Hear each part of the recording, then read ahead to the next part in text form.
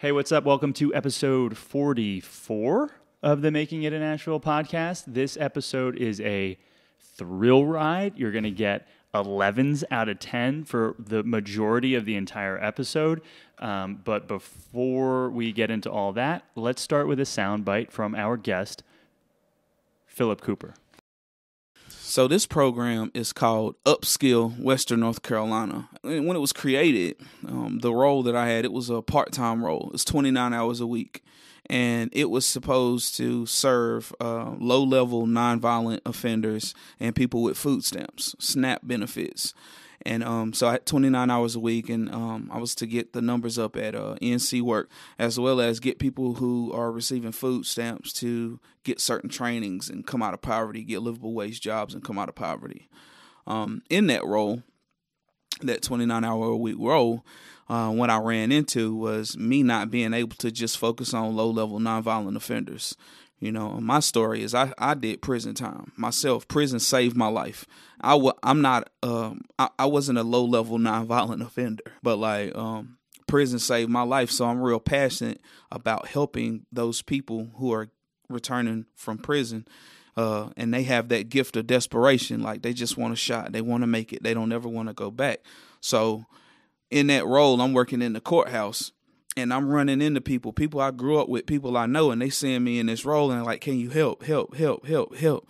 So it was hard for me to just focus on low level nonviolent, right? For one, the charges I had, I didn't even qualify for food stamps. There are many people who are returning from incarceration that can't get food assistance because of certain felonies that they have. They are indefinitely disqualified from receiving those benefits. That is a North Carolina thing. There have been some states who made some adjustments, and we did make some adjustments in North Carolina. However, um, the modifications was to permit certain lower level felonies to be able to get it. So in that role, I'm running into people that are all disqualified from receiving my services, and they're asking me for help. So I had to do something about it.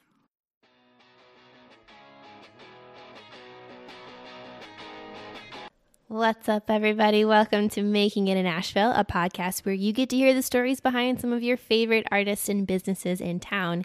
Each episode, we interview a local Ashevillean to uncover how they are making it in Asheville and provide you with actionable insights from each conversation. And we are your hosts. That was Sarah, and I am Tony. We are a husband and wife team based out of Asheville. We moved here last year, May 2019, uh, and we set out to answer a single question. That question was, how are we going to make it in Asheville? And so we decided to interview people who, by our own judgments, are making it in Asheville. Those people look like artists, entrepreneurs, um, multi job havers, uh, aspiring artists and entrepreneurs.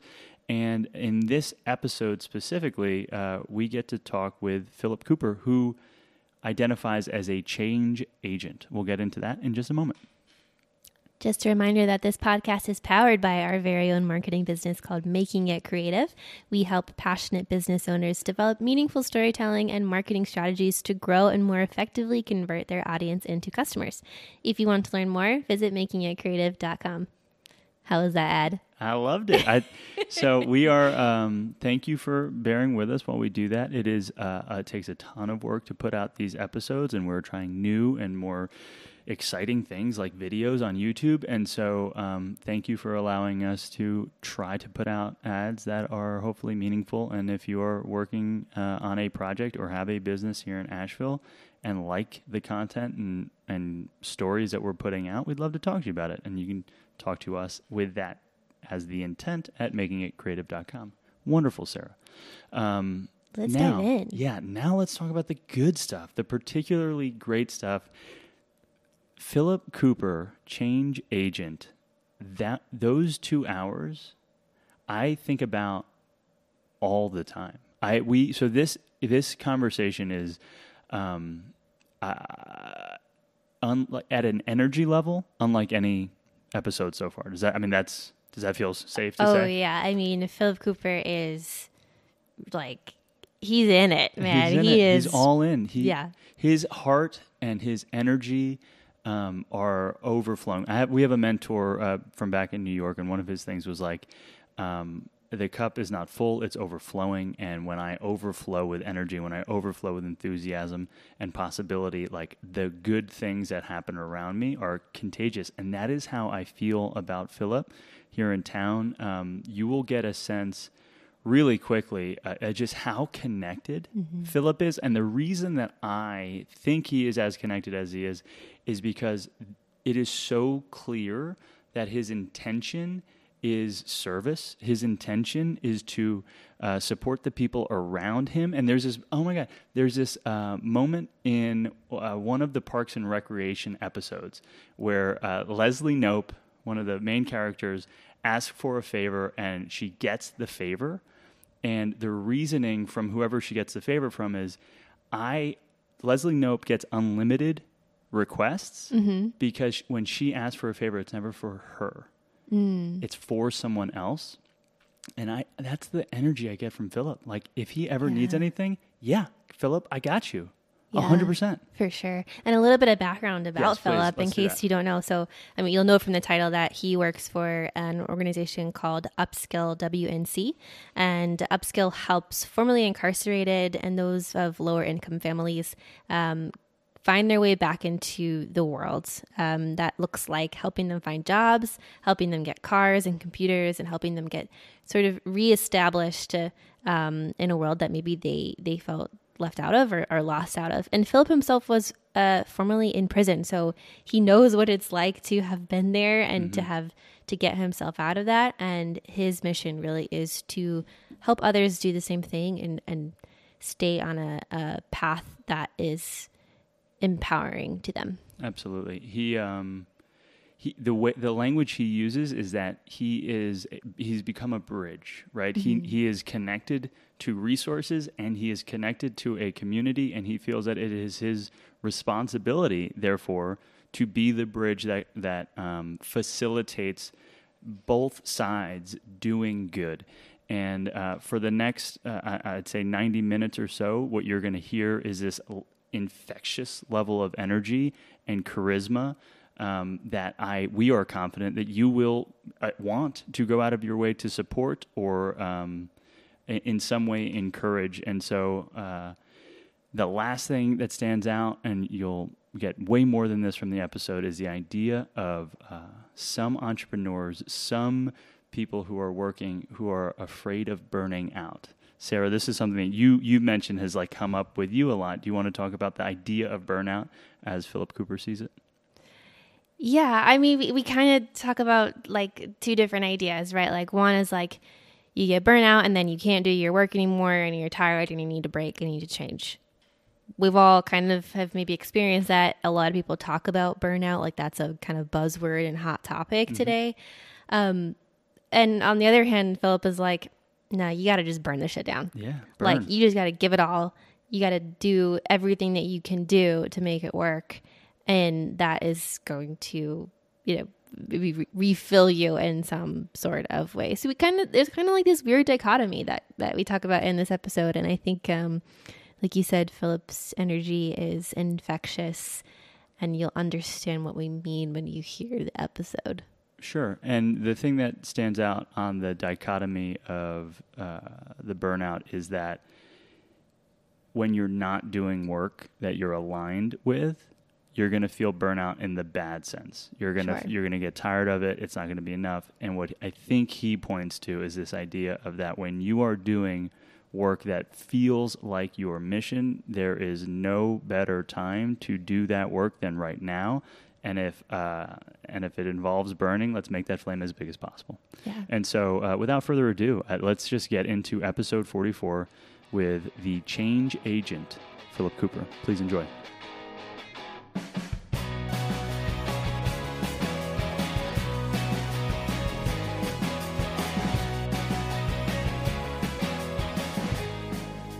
Just start with your name, title, and uh, the beginning. All right. So my name is Philip Cooper, and I am a change agent. I a couple jobs. You got to have a couple jobs to make it in Asheville, to be honest. But I work uh, at AB Tech as well uh, as a, a, coordinator for a reentry program, and I also do group facilitation and motivational speeches through my consultancy, Change Agent Cooper LLC. Now, how did we get here? That's a good question. How did we get here? We was on Charlotte Street, and I was over there at Charlotte Street Computers, checking in with one of my clients who works there. Uh, shout out to Jen Mayer for being a second chance uh, employer. So I was over there checking with uh, one of my clients that works there, and I was outside walking my puppy, Jax, American Bully, and uh, I had on an East Fork Pottery shirt. Shout out to East Fork as being a, a second chance employer, equitable hiring, hallelujah. Um, and then you, I ran into y'all, right? Yeah. And you was like, "Oh, you work at East Fork."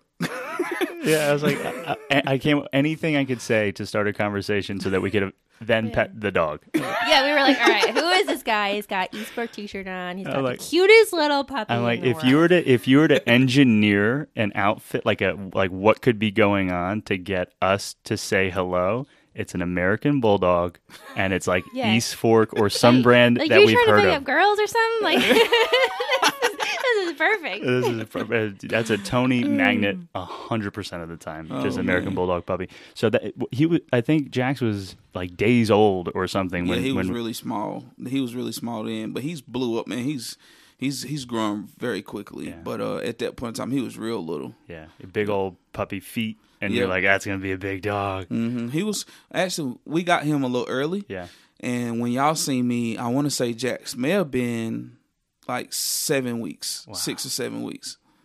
cool. Uh, and so my family had an American bulldog, and Jax looked like a little baby version of it. So we said hello uh, on the street, and there was, I would like to say, sparks flew, but there was like some instant energy that we got from you. We're like, I, we need to know Philip. We need to know what's happening uh, with Philip, and and hear the story and support however we could. Yeah. We happen to have this little podcast, and this is a, I, I hope, a platform where we can share the good work that you're doing. Man, awesome, awesome. Totally down for um, you know getting a message out there. Cause what I what we ran into like early in the game was uh, and and it's not just me that this happens to. Like there are some people that are doing some amazing work in solos, and they're just not in the buddy system, right? In Asheville, you'll see articles even you'll see articles talking about the achievement gap and the opportunity gap. Those gaps come because of the buddy system. There are some people that are doing some amazing work that people just don't hear about, right? So um, that's that's it's awesome that you had this platform because I'm gonna tell my story authentically, unfiltered. I'm gonna try not to cuss because I want to be a preacher soon, and so I quit cussing. So I ain't gonna cuss that much. Okay, there's a chance that I do by accident. Sarah probably It's won't. I'm probably gonna get fired up and cuss. That's right. This is a, a PG thirteen Yeah, yeah. podcast. Yeah, I might cuss. I might cuss. I get Oh, fired up. This fine. is depending on what questions you ask me. I might get fired up. You know what I'm saying? It, Yeah. it just happens like that sometimes. So, um, what is the? I don't know if it's been said yet. What is the name of the program that you you're running here at AB Tech? So this program is called Upskill Western North Carolina. Uh, when it was in when it was created, um, the role that I had it was a part time role. It's 29 hours a week, and it was supposed to serve uh, low level nonviolent offenders and people with food stamps, SNAP benefits. And um, so I had 29 hours a week, and um, I was to get the numbers up at uh, NC Works, which is one of the uh, the organizations that offer career services. Uh, so to get the numbers up at NC Works, as well as get people who are receiving food stamps to get certain trainings and come out of poverty, get livable wage jobs, and come out of poverty. Um, in that role, that 29 hour a week role, uh, what I ran into was me not being able to just focus on low level nonviolent offenders. You know, my story is I, I did prison time myself. Prison saved my life. I wa- I'm not um I, I wasn't a low level nonviolent offender like my first charge in high school was. You know, I start, I caught my first charge at 16, but like um prison saved my life. So I'm real passionate about helping those people who are returning from prison uh, and they have that gift of desperation. Like they just want a shot. They want to make it. They don't ever want to go back. So in that role, I'm working in the courthouse and I'm running into people, people I grew up with, people I know, and they seeing me in this role and like, can you help, help, help, help, help? So it was hard for me to just focus on low level nonviolent, right? So um And then the piece about people with uh with food assistance, you know, I grew up on food food food food stamps. Like I remember back in the day, um, I remember back in the day they had a booklet. You would tear the food stamps out of a booklet, right? And they had government cheese and that peanut butter. Well, that hey, that peanut butter was something serious. But uh, so I grew up on it. So there's no shade when I say when I make these next statements. You know, there's no shade at all. But um, for one, the charges I had, I didn't even qualify for food stamps. Hmm.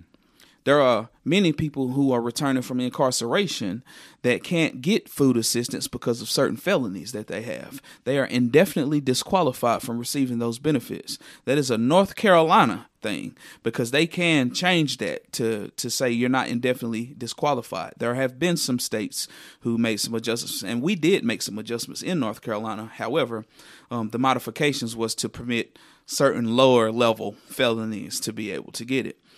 So in that role, I'm running into people that are all disqualified from receiving my services, and they're asking me for help. So I had to do something about it. So at that point in time, um, I basically um, for lack of better words, I did what the hell I wanted to do mm-hmm. because I'm not I'm that guy, man. I'm close. I'm in the community still. Like I go to recovery meetings. I'm in the church. I go to com- uh, uh, community meetings. Uh, most of my friends, I seen a meme on uh, social media one time, and it had like you remember the Suicide Squad movie, mm-hmm. and it had like the Suicide Squad, uh, all of them, and it said, uh, and it had a person and it said most of my friends have master's degrees. And then it said me most of my friends have felonies. You know what i'm saying? So i'm really close to the the justice involved citizens myself whether it be because of the recovery community the faith community or just me growing up with people and and they're getting out of prison and coming home. So um, with that being said said i, I kind of did what the hell i wanted to do because what I ran into was I found out that you know, and with grant funds, like that's the thing about you want to talk about grants and asking for money, like like there's no guarantee you're gonna have a job after a certain amount of time, mm-hmm. right? And so whenever I started, and I was just learning about this. This was this was like all new to me about grants and all this stuff. So when I found out that the position was temporary, I was like, well, I'm getting ready to make a statement on the way out. Mm-hmm.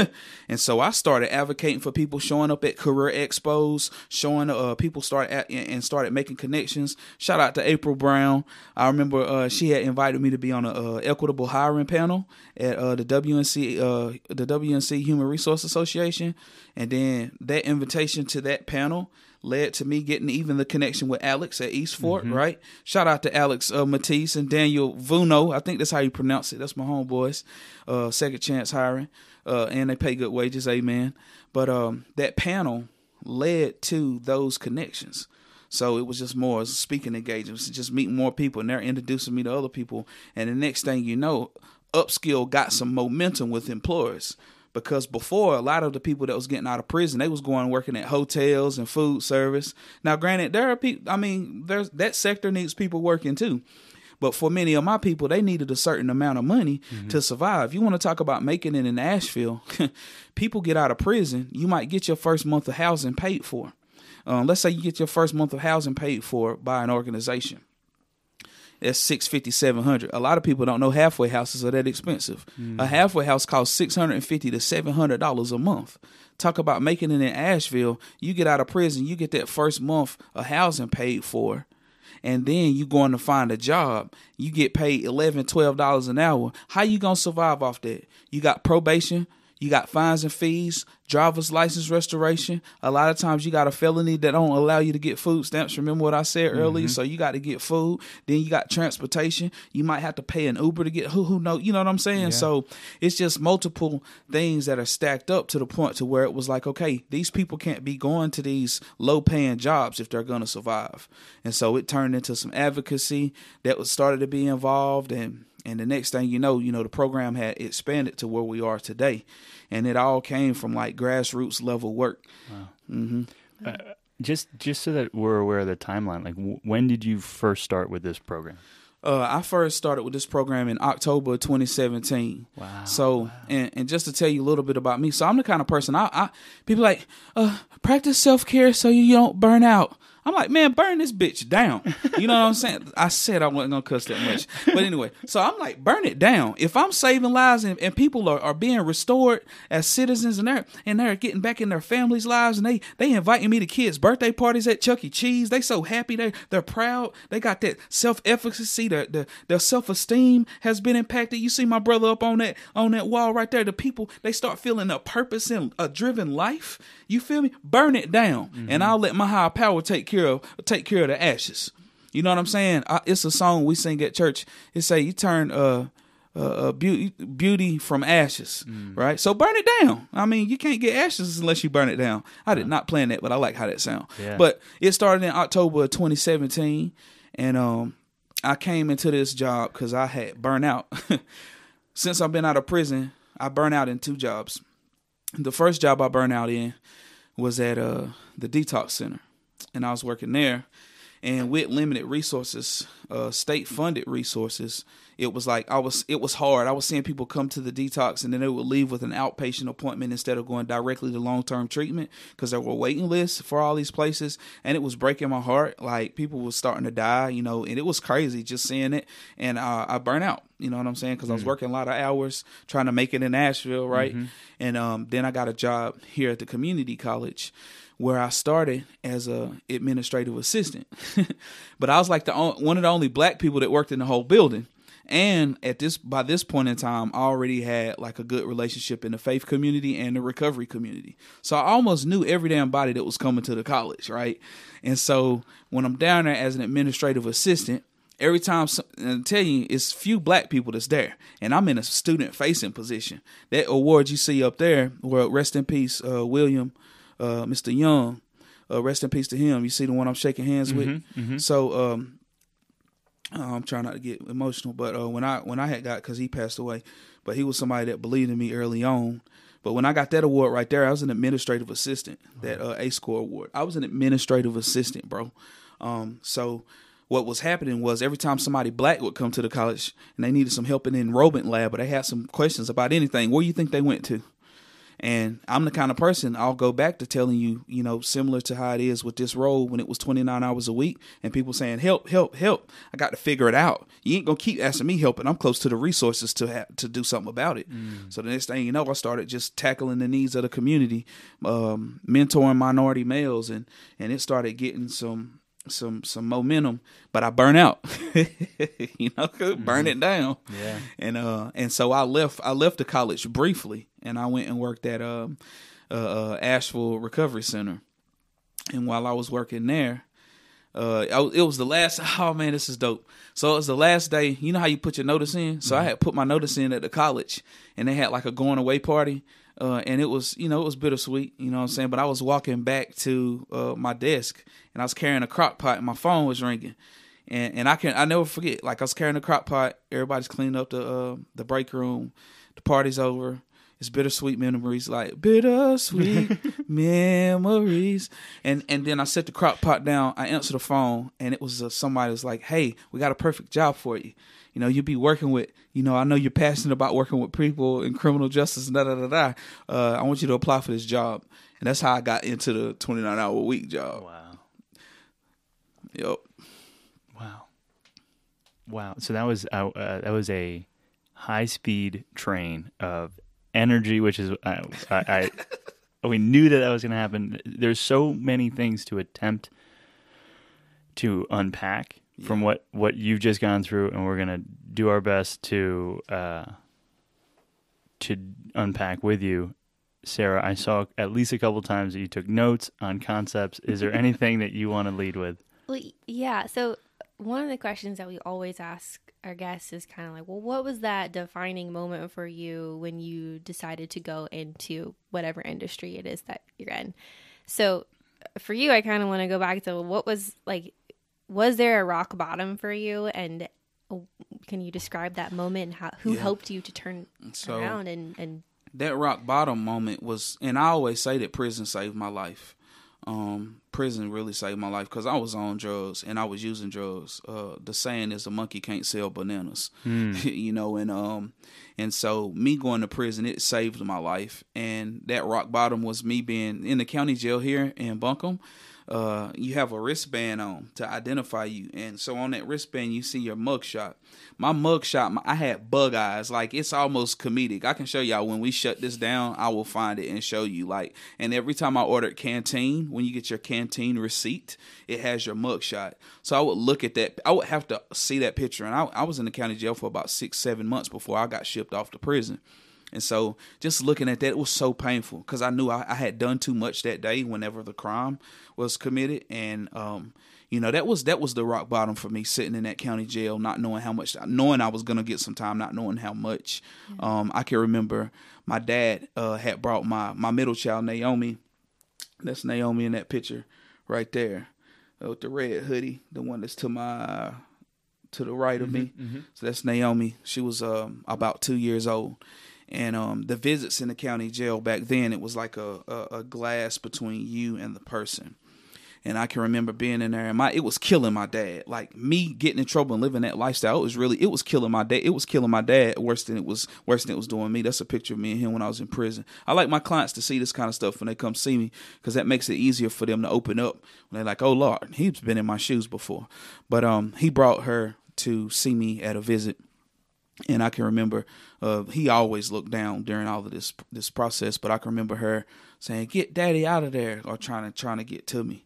You know what I'm saying? And uh, I'll never forget that pain because she really, literally was like trying to get get to me, and um, that's that's some of my rock bottom kind of moments. Yeah. But as far as what helped me turn around was really just just doing time with some o, uh, we call OGs original gangsters, like some of them guys in there that had a lot of time that wasn't getting out, and um and and just to uh, rewind back to when I was in like fourth and fifth grade, teacher saying, uh, "You're so smart. You got so much potential. Why do you act like that? Aren't you tired of going to ISS? You got you look at these grades and look at your behavior. This just doesn't add up. You got so much potential."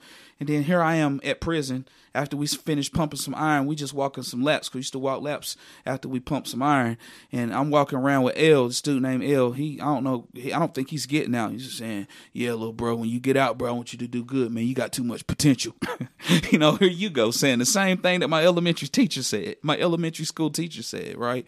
So it was being in there with the real gangsters like the people that I typically would look up to, like, yeah, you know, he did X, Y, and Z. Yeah, yeah, that's it. That's the idol. And me getting in there and they saying, bro, you got a chance when you get out, man. Screw this ain't where it's at, man. You know what I'm saying? Mm. So that that was a major part. And that's why I'm so passionate about what's called peer support and peer mentoring. Um, because, you know, it's so magical when somebody who has actually been in your shoes gives you some advice and some feedback and some you know what I'm saying? It's it's a lot different when it comes from them and and that's really what played uh, a, a big role in the change you know what I'm saying when when I got out. Dang. And that that's kind of it, it, you I think alluded to recovery programs. Is that kind of like a 12 step type of a program where peer support is seems to be one of the foundational parts of that yeah. process so yeah, so you got I mean you got the twelve step meetings, and that's more of a um, that was the found that's what really laid the foundation for me, and I still go to uh, twelve step meetings. As a matter of fact, my anniversary was yesterday, January the sixteenth, and I'm celebrating. Y'all, if y'all want to come, you can come. It's open to the public. It, uh, I'm not sure how packed it'll be, but next uh, next Tuesday at uh, seven thirty, I'll be celebrating. Um, but I ain't gonna How put. I can't put all uh, eleven. Wow, eleven years. I, I don't know if I could put all the information out on the air because it's an, an this, anonymous. This, yeah, this won't. But after this is over, I'll tell you the whole cool. uh, thing. But um, but yeah, so twelve steps is definitely the foundation for me as far as recovery. And inside of 12 steps, we believe the therapeutic value of one addict helping another is without parallel. Mm. So it's, you know, it's peer support. It's people who've been in your shoes giving you suggestions. How to, how, this is how I got through a breakup. This is how I got through the IRS stripping my bank for drug taxes. This is how I got through baby mama drama. This is how I got through home ownership, you know, or having a puppy. you know what I'm saying? This is how I got through. So, yeah. And I've also heard um, that there's some degree of research that supports it as well, but the act of supporting other people is one of the strongest ways to support yourself. Mm-hmm. Does that feel true exactly. well? One of the cliches we have is the only way to keep what you have is by giving it away. Mm. That's why I may sound articulate when talking about the criminal justice system or what it takes for effective reentry services um, because that's all I talk all the time. That's what I pre. I, it's like a preacher mm-hmm. now preaching that message, you know, to people that's returning, you know, and and with it being uh, uh, fresh on my mouth, it's it, fresh on my lips. It's always preserved. You mm-hmm. know what I'm mm-hmm. saying? Yep, that's a yeah. proverb.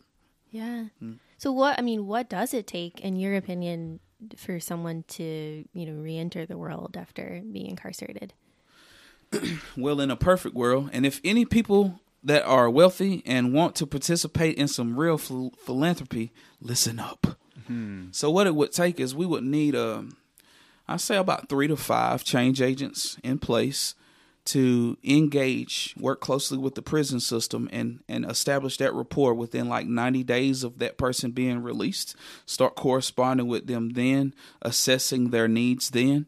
And when they get on when they get home, welcome them home. Now that's just from the service provider perspective, right? So when they get home, they got somebody that's holding their hand to get the resources. On the way to the job interview, I'm giving you a motivational speech. On the way to this place that's going to give you career services, you know, I'm telling you about, you know, we can tell some war stories, some prison war stories, mm-hmm. you know, mm-hmm. just just getting a relationship there. You know what I'm saying? And so I think that's from a service provider perspective, we definitely need somebody that can just accompany them through that process for maybe like the like that that really uh, uh, intense engagement for at least the first couple of weeks and then still a consistent follow up for at least 90 days, right? Because if a person, and now that was from the service provider perspective. Now, that service provider perspective is also leaning on what the individual does.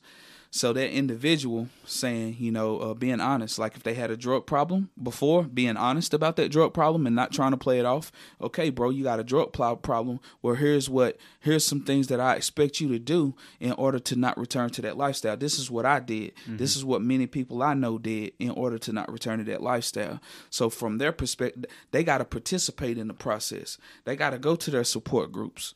You know what I'm saying? You don't like groups, well, you're going to have to check in with me often you know but for the most part when people get out when they have that back to what i said that gift of desperation they they're humble. And humility is one of the primary principles in the first step. So if they're humble they're gonna be willing really to do whatever you you know what i'm saying? Like sh- show me how to get to where you at bro. Show me how to have peace and be back in my kid's life and own a home and and not be looking over my shoulder when the police behind me well i still kind of do that. That's a habit. But you know what i'm saying? Like those kind of things. And so the expectation for them is to participate in the plan, make their meetings, be honest and upfront with me. You know, checking in with me, like like if they working at a certain place and the work culture ain't up to speed with diversity, hint hint, then maybe you need to have a, a really consistent check in with me, talking about how your day went, so I can give you some advice on how to survive that until we find you another job. You know, just little things like that. Wow. So then, what all does the program provide? Because if that's aspirational, are we yeah. close to that with uh, Upskill WNC? I mean, I've been one man, bro. Wow. You know, doing this work uh, all the way up till we got uh, another part time person. Shout out to AB Tech. You know, they they they came up with a way to get me some part time help you know, and Dr. Shelley White, she was amazing. She went to be the president of Haywood Community College, but like, man, that lady is really amazing. She was a really good leader. Um, I'll just give you this real quick. So it was a, I don't know if I can, how much I can give, but either way it goes, something had occurred to where I was on the, uh, on the hot seat and I was thinking that I was about to get fired, to be honest, because there was just something that had occurred. It wasn't nothing that I did wrong. There was just some friction between me and someone. I'm passionate about what I do. They're passionate about what they do, and and so there was some friction. And so I'm in her office. I'm thinking I'm about to get fired, and we start talking about kind of like a conversation like this. And then she's looking at my reports. The next thing you know, she goes up to the whiteboard and starts talking about sustainability of the work that I was doing, and said, "Okay, I want you to report directly to me from now on." Wow. Right. But um as far as uh, if we're there yet to what I'm saying, like the snap of Thanos' fingers and have what I want, um, hell no, uh, no, because it takes money. Yeah. Like it, it, it's really gonna take the right person meeting me and seeing what has been done, and them saying, you know what, we want to support that. Like Van Jones, if you listening, bro, if you listening, let's have lunch one time Let's have lunch one time. You want testimonials? I got you. You want face to face testimonials? I got you. You want to pull up at halfway houses? I got you. Right? Because when the right people with the resources hear about this, they're going to support it. Mm-hmm. It's just not that easy to get in those places because I'm going to go back when we talk about the opportunity gaps. Right? If you're not in that that buddy buddy system, you're not always going to be favored and that's just not a Buncombe County thing. That's really a Carolina, th- a North Carolina thing. I'm not gonna say it's as much national. Uh, I'm not gonna say it's a national thing because I know of some amazing national, nationally uh, renowned programs that are funding. As soon as they hear about what's going on, like Vera, they funding. MacArthur Foundation, they funding. When they hear about what's going on and it makes sense and it's doing numbers, they're like, oh, you know. So nationally, we have a lot of uh, nonprofits and organizations that are doing great work. Whenever they meet people like me. Hmm. So whoever's listening, you know, if this is some work that you want to support, you want to see something happen. Listen I, I, mean i'm not here to brag. I'm, I'm trying to work on not being too cocky. Some somebody said that uh, i was arrogant and i think there could there could be some truth to that so i am trying to work on not being too cocky. But i will tell you this that right there that award you see right there talking about reentry right there that came from that what that that came that came from a one man. Real talk. You know um a gap filler. It what and it's not really that i'm super special. It's just that like i say like if you close enough to the resources and you close to the community, I command you to be the bridge. Mm. I command you to be the bridge. And with me, you know, I, I I had no choice. I wouldn't have peace in the community if I didn't start bridging the gap. Being that close to the community and that close to the resources, you gotta be the bridge if you want peace. You know, you want to talk about a turning point? Man, I got two friends that are, that are dead right now. You feel me? Because at this point in time, I wasn't. I, the bridge wasn't solid yet. So I remember uh, one of them. You know, I was corresponding with him when he was in prison. Now this was way back in like I took this was in 2017.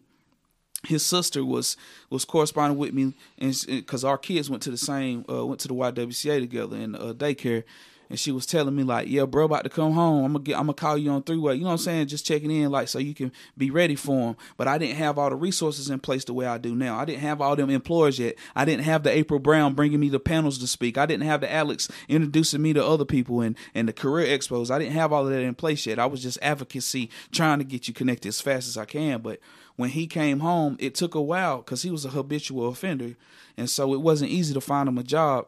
And so he ended up finding a job, getting paid a little bit because some of them staffing agencies be trying to pimp people. Mm. You know what I'm saying? And ain't I don't I'm not against the staffing agency model because I just started one that I just launched. I'm just I haven't been able to do contracts yet because I, I got to get some more funds to be able to compensate my people. But he went to a staffing agency that was giving him like ten dollars an hour. You know what I'm saying? He got three kids, ten dollars an hour, and so you know he ended up going back to that old lifestyle because you got kids that need, and he, so he went back to the old lifestyle, and he's no longer with us today. It was gunned down. Um, then another one of my good friends just died not too long ago. He got out, I want to say in like November 2018.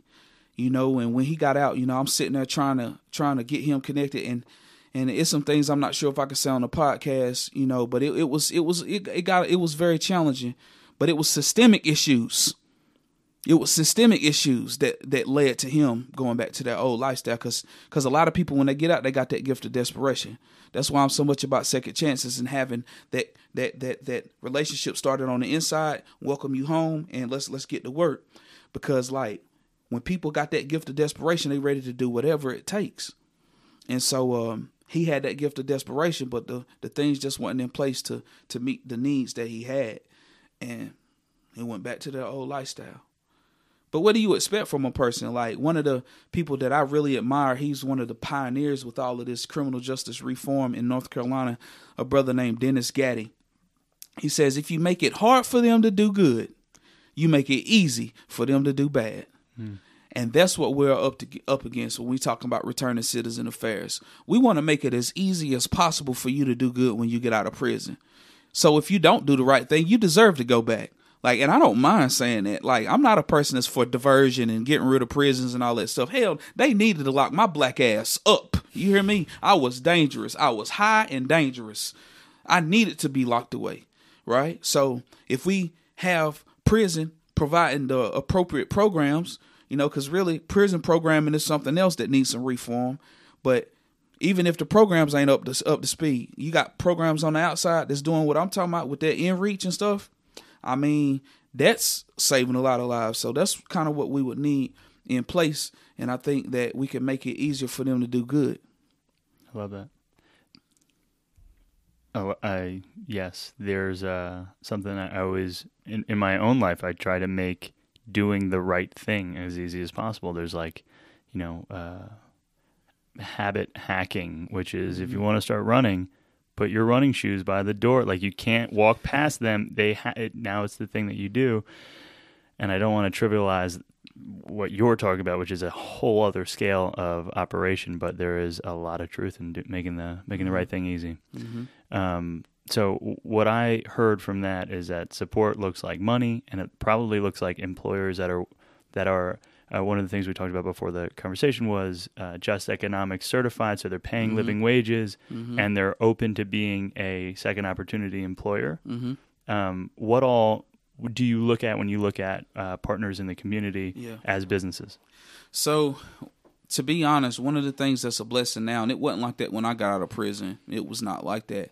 It's like the unemployment rate. You know what I'm saying? We have like the lowest unemployment rate in the state. So these businesses are starting to be more uh, open to hiring folks. But even even before then, like they have these this this hiring policies, this criteria that they use to determine how to vet the the people who have backgrounds. So um, as far as the relationships with the employers, let me help you vet because every HR professional ain't familiar with the criminal justice system. I mean, there's certain uh, uh, uh, legal jargon that is confusing to a person that's not an attorney. Period.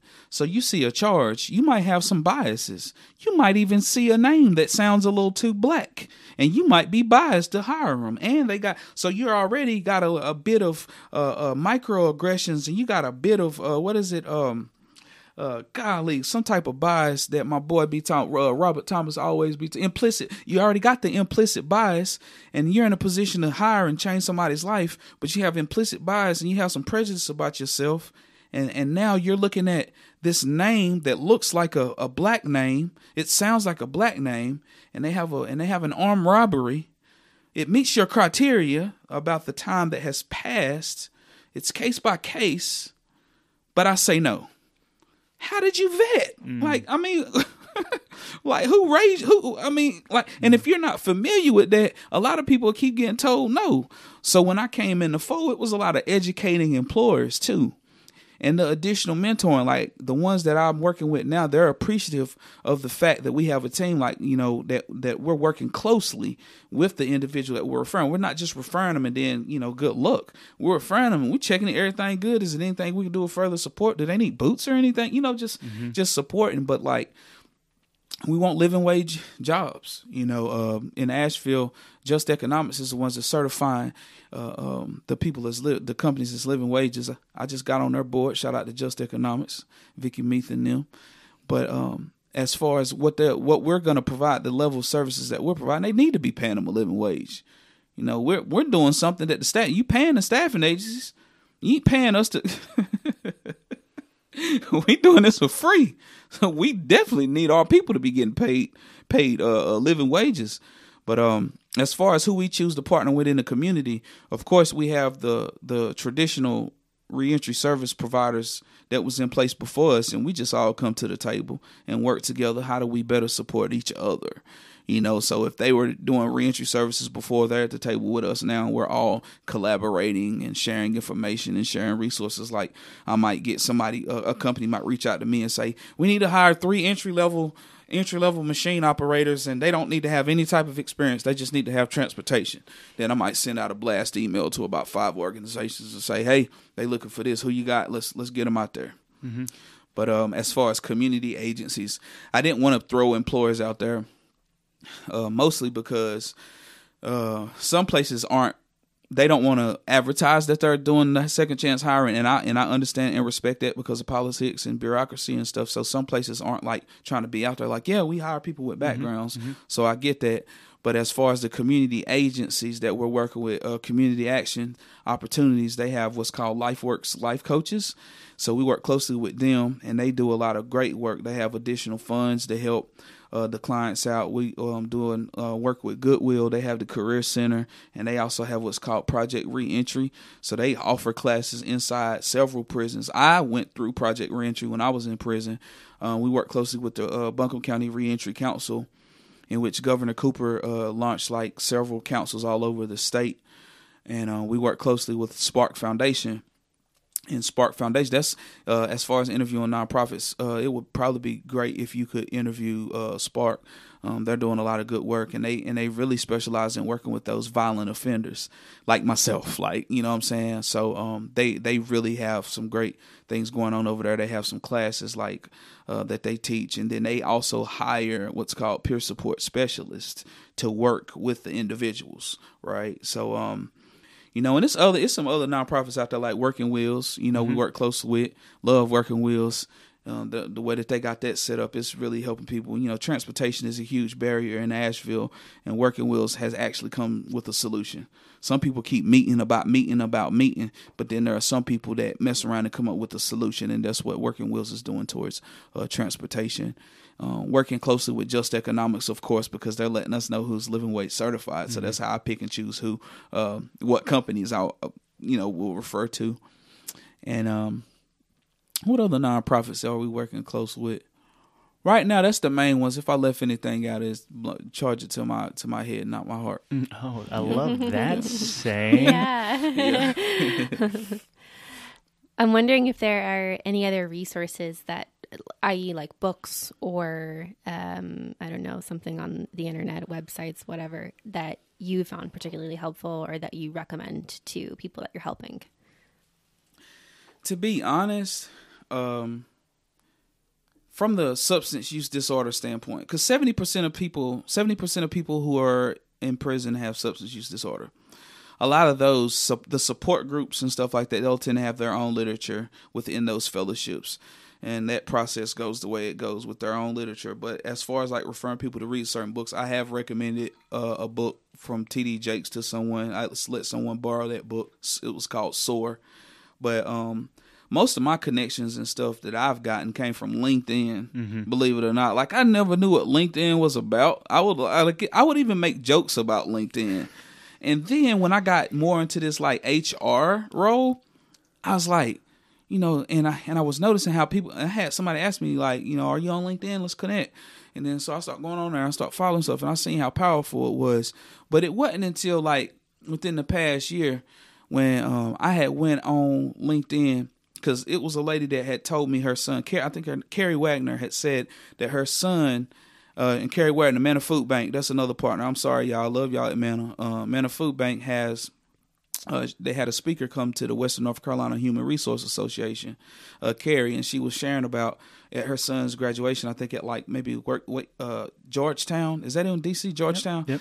Uh, uh, um, that the guy Brian Ferguson, who was the director of Returning Citizen Affairs at the time, she was talking about how he spoke, and she came up to me when I, the whole meeting was over. She was like, "Philip, you should check him out." You know, just she was just saying, check him out, read up on him. So I went to LinkedIn. Like I'm not reading. I ain't checking up. On. I just went to LinkedIn. I looked him up, hit connect, and then I seen that he had viewed my profile a couple times. You know, because LinkedIn will let you know people viewed your, viewed your profile. It's like, hmm, okay, I see you got. And so I um I reached out to him, and he followed up, and he sent me like how to establish certain things and what their process is like, and and um and then you know and then found out they have another one and I started going on LinkedIn and I would just type like certain hashtags like reentry. And I would see these other programs and come to find out that they have a returning citizen affairs, officer returning citizen affairs in Boston. And I'm all talking about LinkedIn. I'm talking about LinkedIn. Yeah. So I reached out to him and me and him ended up having an hour and a half long conversation, him explaining the process, the prison in reach process, and like what type of nonprofits you choose to work with is what's gonna be your ticket. Like he was breaking it all the way down. We was on the phone for an hour and a half, and he still messages me to say where you at with things. You know, yeah. all the way in Boston. And this all came from LinkedIn. That's what it's in reach when I'm saying get within within 90 days of release. All of that stuff came from them. They was telling me the best practice that they have, and they doing good work. We're talking D.C. and Boston. You know, they got to. They can't afford not to. Yeah. you know. Wow. So there, I mean, I, I don't. It's. I feel that it could be easy to over, to overlook, but there seems like uh, you, you've you talked about it earlier, but the idea that you, when you see something, you seem to go at it with a tenacity and enthusiasm that. Uh, s- something's gonna happen. Like some it, something's gonna happen because I like I, I I'm willing it to, um, and I'm wondering, is that what you said that your teachers were talking about as a as a young uh, student? Is that relatively new? Is that being empowered by past wins because of that enthusiasm? Like how do you how do you keep showing up in this way to be that bridge that you talked about earlier? I think it. I think it got. Well, I'm very religious, mm-hmm. so let me let me say that. Like, I'm I'm spiritual and religious. Like some people will be like, "Yeah, I'm spiritual, but I'm not religious." I'm both, mm-hmm. and I'm trying to redefine how people look at Christianity as a religion, right? Because I'm Christian. I'm proud to be Christian. I'm proud of my Savior dying for me. Um, and I remember who I prayed to when I was in jail, you know, and having peace from those prayers. So I like to say, pray and slay, right? So as far as how do I keep that tenacity, I do a lot of praying. I listen to a lot of uh, Christian hip hop. Lecrae is an artist I like. It's an artist named Bizzle, uh, an artist named Seven. I be listening to them. It's a new one that just moved to Asheville named Mooney Music. Actually, that's who cut my hair today. His name is uh, Mooney. Uh, Mooney Music. So I be listening to the to the music. Does a lot of power for me. See, I got music tatted on my hand. Yeah. You know, it, it, it and that's another thing that's always been in my life. And that's why people got to be careful with, with letting their kids listen to certain rap music. Because I remember when when you want to talk about Jeezy, talking about thug motivation, Jeezy really motivated my thugginess. he really like certain songs really motivated it. So when I was in prison, I remember walking and listening to my music. And so the same way now. But as far as like you, you asked if it was past victories that led to oh Jesus uh, to the perseverance, right? The the perseverance comes because it has to be done. Like I said, like my fr- these are people I grew up with that's getting out of prison. They aunts and they mamas, they might go to my church or they know my daddy and they like, hey, I need you to talk to so and so or somebody I went to school with. They say, yeah, my baby father about to get out. I can tell he changed. He really needs some help. Like I got to make something happen. Like like I said, like I'm close enough to the community and I'm close enough to the resources, then I have to be the bridge or I won't have peace or I can change my job. Right, I can change my job. I can I can go and go to industrial maintenance academy, and maybe I, be, I I go the route of becoming a CNC machinist or something. Right, maybe I need to change my job, but as long as I'm close enough to the resources and I'm close enough to the people, I will continue to do it. And and send the success stories, like the success stories. Like we just had one, and and that's uh what we're gonna we're hoping to do a film on this. This is a, uh freebie for the listeners, but um had one. She just got custody of her kids back, bruh. You feel me? Like she came from being uh, uh, in prison. She went through one program, compl- successfully completed that program, got underpaid at an employer that was underpaying her because of her background. I have reason to believe. Uh, but she was there, and and then she reached out for help for uh. I don't know what she. Somebody told her to call me and just check in. This one guy, he was a former client. He was like, "Hey, you need to meet blah blah blah." And so she called, and then I heard about her story. We fundraised to get her driver's license restored because that's another thing that we're working on too. Like driver's license restoration, fines and fees and stuff. It's crazy. That's a whole podcast by itself. If you want, just let me know if you want me to get some of the people that's uh, working on that together. But for now, we had these philanthropic efforts to the program from people like the Walnut Cove community, Colton and Groom, WNC Bridge Foundation that was giving us money for supportive services funds. So we had money in place to help people. Man, we paid four hundred and something dollars to get her her her driver's license restored. Maybe a little more than that. She had a seatbelt ticket from McDowell County. you know what I'm saying? That they weren't willing to waive. So we we we fundraised, got it paid, so got her license back got her a job. Shout out to East Fork Pottery. You feel me? Paying her good. She love her job. Good work culture. And then uh, uh, the next thing you know, we do a, a, a working wheels referral. You know, so now she got a car. It's crazy. I can't wait to do the film. But uh, you know, yeah. But that's that's what keeps me going. We get them success stories. Like I have a, a crazy a crazy week all week and be pressuring, which it always is, until I get some more help. It's crazy, and then just getting them success stories. You Yeah. know, it's like it's paying off. And just to go back to the bridge thing, in in your, it seems like to go and become a CNC machinist, right? I think that you would have your based on what our experience so far. I feel like you would have your own form of uh, restlessness and lack of peace Yeah. if you were to leave this good work behind now. Yeah. I feel like you're probably too far in. You, you, Yeah. Could you walk away from this? You've talked about burnout in the in the past. Are you close to burnout? Because it does seem like there's a lot of responsibilities, a lot of uh, relationships, and and the, like to be a giver Mm-hmm. energetically and with actual connections that you you are. Mm-hmm. Uh, I, I, I a I hope that you're replenishing. And it seems like we talked about Yeah. your, your workout this morning. Yeah. You got your religion. Yeah. Um, but are you or do you have any fear of burnout? I know you joked like let's burn it down, forget about burning out. I'm trying to I'm trying to just blaze, but is there is there any fear that like you're too know, committed? man. I, I right now I, I think I'm in my I think I'm in my grace right now. I love it. I really like where I'm at now. Now there are some steps, some more steps higher to go as far as decision making abilities, like maybe getting into something with local government, and that is something that I do want to do. Like in the future, I do want to be the first county commissioner with a felony. You know what I'm saying? I don't think there has ever been one. If there is, then shout out to you, bro, or sis. But um, I, I would love to be a county commissioner. Um, you know, you'll notice I got the Black Godfather hanging up on my wall. You know, it was a good show on Netflix, and it and it gave me some inspiration because this was a lesser educated guy that was just good with networking and connecting the dots, and it reminded me of me. And right now, I'm starting to get connected with some people who are really like trying to hear what's missing in the community. And with that being said, now the resources are being in places, and now my my connect connectability skill is going at another level, and I'm seeing greater impact. So I think I'm getting close to being at a different position with more decision making abilities, and that's what the answer is gonna be. And I'm trusting God that um that I'm not going to burn out now. Mm-hmm. Because at this point in time, as you said, I am in too deep. Now I can fall back and I am seeing some good things like, oh, Jesus, we got this grant like uh, from Appalachia Regional Commission. So I do got help. Like I told you, AB Tech gracefully hit me. They they did help me with the part time position. So I got one part time person working with me right now with the community based work. But um, a speaking engagement I had. So my man DeWayne Barton, shout out to DeWayne Barton. I don't know if y'all heard of Hood Huggers. That might be another person y'all need to meet too. DeWayne Barton talking about making it in Asheville, learning more about Asheville. It's, he, he's solid. But he had connected me with somebody that was doing this listening session in Wilkesboro. And so he he knew some of them, and, and so he threw my name in there as a recovery. You know, he knew I was in long term recovery and had been, and so he threw my name in there. So they hit me up. They was like, you see that right there, that Appalachia Strong. That was from when I spoke on a panel with them. But um, they're really uh, establishing a recovery ecosystem with Appalachia Regional Commission because of the opioids and the substance use epidemic. They're trying to come up with solutions, and it's not just on mental health and substance use providers, but workforce development also has a role to play in it too. And so um, they invited me to this listening session.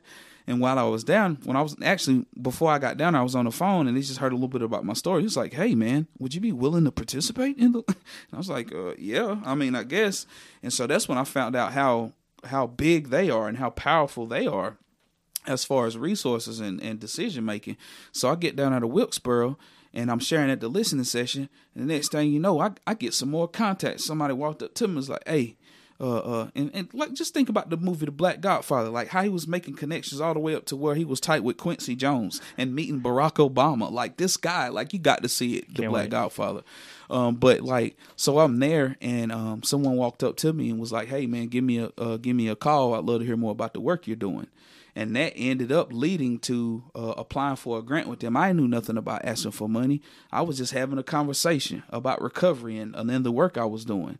And um and now it ends up being like uh, Governor Cooper recommended funding us for another two years. So that means I do have a job for two more years, right? But and it all came from a listening session. You know, so that's why community is important because the people in the community knows what's happening. So like if we really want to have an impact on the community, we got to make sure people from that community, not just people just because you're a certain color don't mean that you represent that community. No. No. All right, no. There's no truth to that. But people that's actually from the communities that's in those communities that can identify who their champions are and have those people at the table whenever we make decisions about helping those communities. That's how we really, really have a change in those places. Damn. Yeah. So I'm wondering too if there's something, if there's certain projects or goals that you have kind of coming up in your mind for the future. So my staffing agency, you know, I was uh, blessed um, and awarded a, a, grant to start my own staffing agency. Shout out to the Tipping Point Grant, and I partner with uh, Just Economics, um, and so the it's it's called Higher Powered Staffing. So there's some more steps to take. We got this lovely Mountain Community Capital Fund in uh, in Buncombe County that we have, and they're trying to do. Um, you know, it's a new loan guarantee fund for small business entrepreneurs in Asheville and Buncombe County, and we must have local businesses that reflect our diverse community. So here I come you know so i'm gonna try to get some of that bread because with the, what i'm what i learned was with a staffing agency you have to have you got to have some capital up front to be able to pay your people weekly when they go to work before you get the money for the contract and so that's where i'm at now is working on getting that done mm-hmm. will it conflict with my job now no it will not my job now we're changing like i said with moving forward with my current role is focusing on it's going to be solely focusing on people who have been released from prison within the past year that have served over a certain amount of time with the staffing agency, I'm focusing on underrepresented populations, justice involved people, people that are interested in getting a new skill, and they, you know, they're gonna work at the staffing agency in certain hours outside of the classroom hours. You know what I'm saying? That's what we're gonna be focusing on with that. But understanding how important it is to have diversity in service providers in the staffing agency, because you know there's a lot of young black males specifically like in this area that you know they just haven't made a career move decision and there are so many opportunities they don't know about. Like i've recruited a dishwasher that's about to start working at east fork. He's not justice involved but it's somebody that i know just a young black male 22 years old that's been washing dishes and you know here i go like hey man maybe you should try this out. Because if you can prep cook and wash dishes then you can do assembly at a manufacturer. It's a transferable skill. For sure. Um, uh, ge aviation has a video that they show and they have like a success story about a guy who was like a prep cook. And with the details that are involved with prep cooking it was a transferable skill to what they do with uh, machining and entry level machining and stuff. So. Love that. Uh, one of the questions that came in from our uh, we'll say our community was is there any work that you do, have done, will do uh, around empowering entrepreneurship uh, in your the community that you're serving? I usually lean on the the the experts. Uh, Aisha Adams, have y'all know Aisha Adams? Oh man, you got oh my god, you got that. Oh, bruh, bruh, Aisha is a beast. Equity over everything. Uh, she she's like entrepreneur superstar. Uh, uh, Emily Breedlove, mm-hmm. uh, even our small business center here, AB Tech, Jill Sparks, Dwayne Adams. You know, um, the, I'll send people to them. Okay. You know, whenever they're entrepreneurs or Mountain Biz works, you know, because that's not my area of expertise. I didn't even know I was an entrepreneur. Jill Sparks was the one that had a conversation with me one day. She was like, Philip, she, she said, you're an entrepreneur right now but it's gonna come out of you whether you know it or not. Because I've always ran away from the word entrepreneur because I was like, okay, entrepreneur, take a risk, no money. I got child support to pay. Hello, I mean, I can't be taking no risk. You know, I gotta have Chick Fil A when I want with all the sauces. Hello, you know what I'm saying? So whenever, uh, whenever people talk about entrepreneur, I'm thinking like, I can't stop working. Like I can't, I don't have time. Yeah. But what I learned my process was entrepreneur because this work that I'm doing now is what led me to my entrepreneur uh, uh, skill that I'm going towards now with the connecting people to jobs and, and this third party recruiting, this unique way of third party recruiting. When I show up in my Air Jordans, talking your slang with you, telling you about job opportunities, as opposed to me having a career fair and hoping that you'll come and talk to me. No, I'm all in your hood, bro. Oh, you need a job? You been working out there? How much they paying you? Oh, they paying you 10, 50. Oh man, I can get you four more dollars an hour than that, man. I just need you to commit to meeting with me at least once a week, though. Don't try to play me, though, bro. You see, I'm trying to do big things in the community. Don't play me. I need you to be straight up with me. I'm like, yeah, bro, I got you. And that's what leads to it happening. But this style of third party recruiting is the my entrepreneur ability. Mm-hmm. And and that's and that's how I got there. But I ran from that word entrepreneur. My man Gene Edison, he another one you might want to have on. He's solid. He's super entrepreneur. He got like four businesses, five businesses. He got Babs, Build a Better Salad. He got J Lee Chicken. He got entrepreneur, intrapreneur podcast to start. He got so many things going on, but uh, a lot of people that's entrepreneurs. I just I'm just now getting to where I feel comfortable saying I'm one though. Yeah. I, I think that's powerful. I think you you hit on something powerful there that you don't have to necessarily be a quote unquote entrepreneur to have an entrepreneurial spirit. Like I think you have an entrepreneurial spirit. Yeah. I think he Tony has an entrepreneurial spirit. Um, and so there's there's definitely skills I think that Yeah.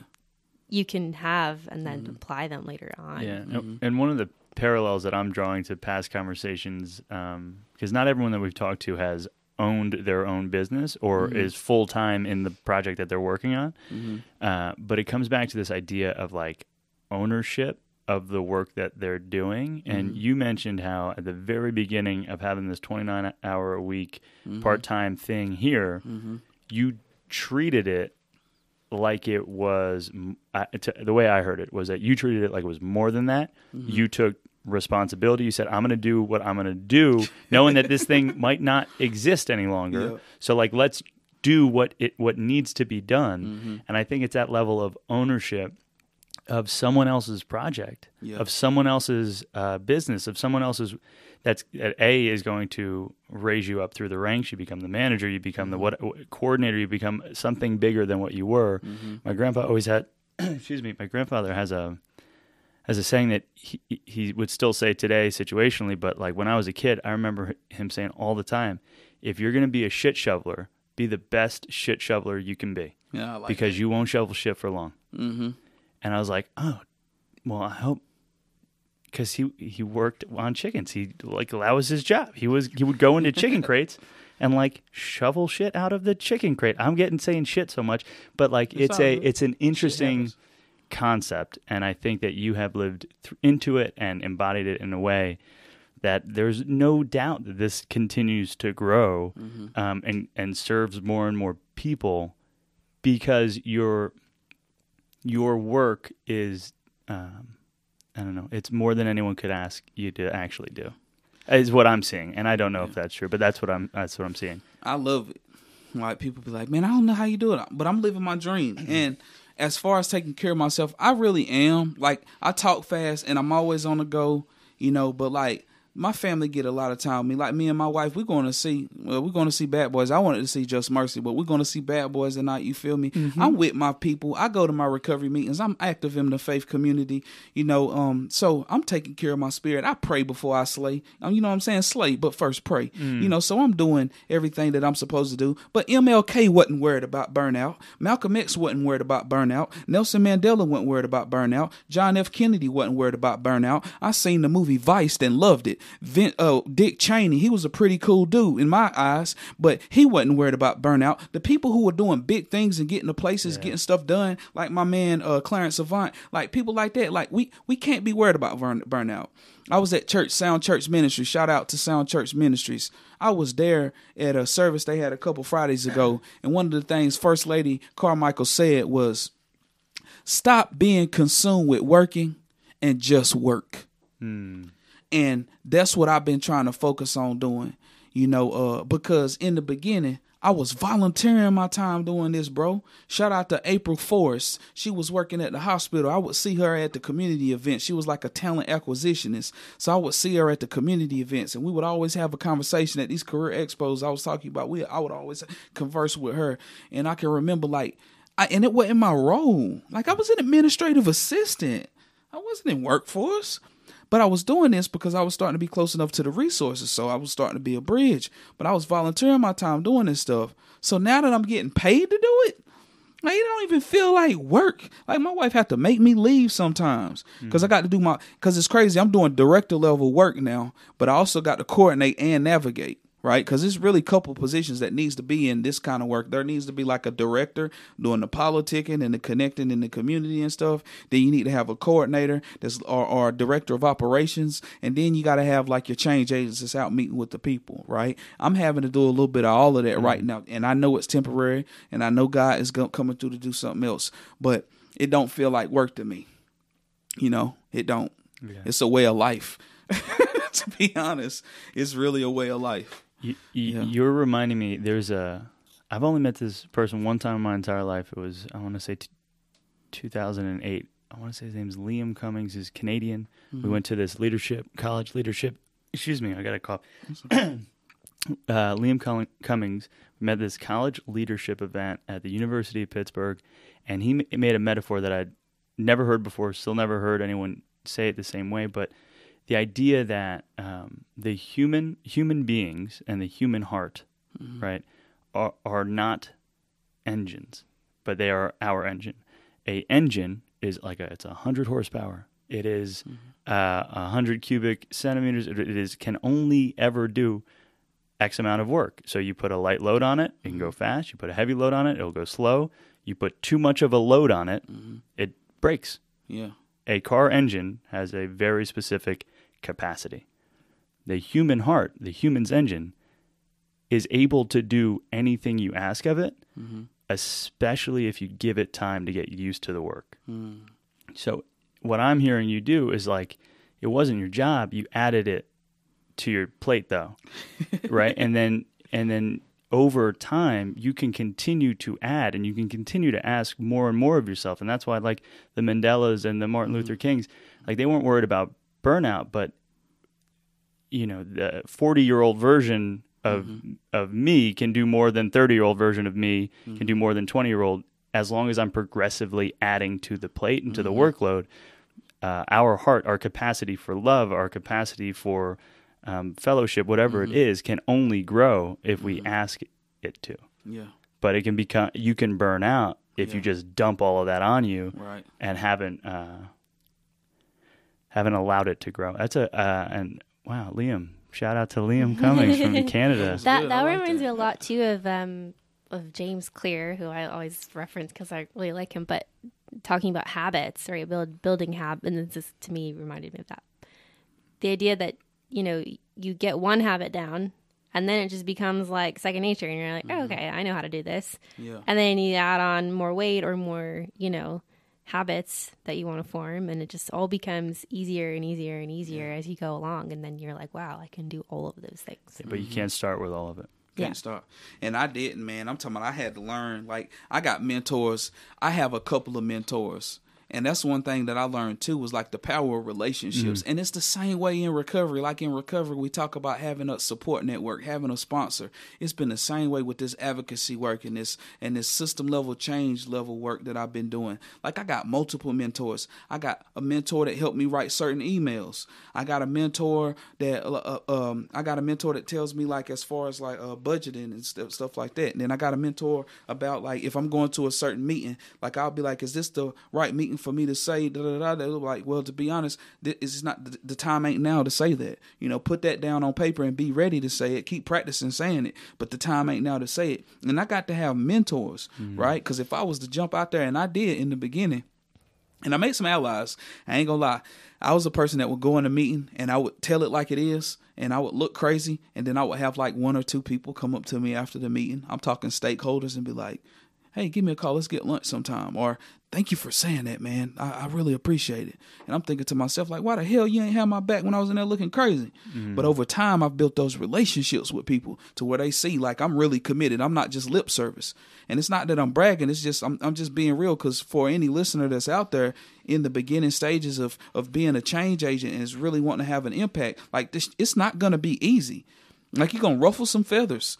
Like change is usually not comfortable. Everybody ain't comfortable with change. Some people have gotten comfortable and complacent, right? And so it's gonna be difficult. That's why it's so important to have that support, that network, that those mentors that help you think through it. You know, go lift some heavyweight instead of lightweight that day. You know, it was harder to meet. I'm going to throw 315 on the bar. I'm pissed. I got to recover from the change agency. You know, and that's and that's what it will continue to be. You know, uh, one day at a time, right? But this this is my calling, man. This is my purpose driven life. This reentry, prison reform, that kind of stuff. That, that's my purpose, man. When I was in prison, I worked as a treatment assistant for a program called A New Direction, and that's when I first found my love for working with people. Because like, I, now they didn't shut down uh, Wayne Correctional, but I was a peer counselor. Uh, and so, like, it was a person that you know you would clean up the classrooms, you would write a quote on the board, you would facilitate like the devotional meeting. But it was a unique job to have in prison, and I got paid a dollar a day.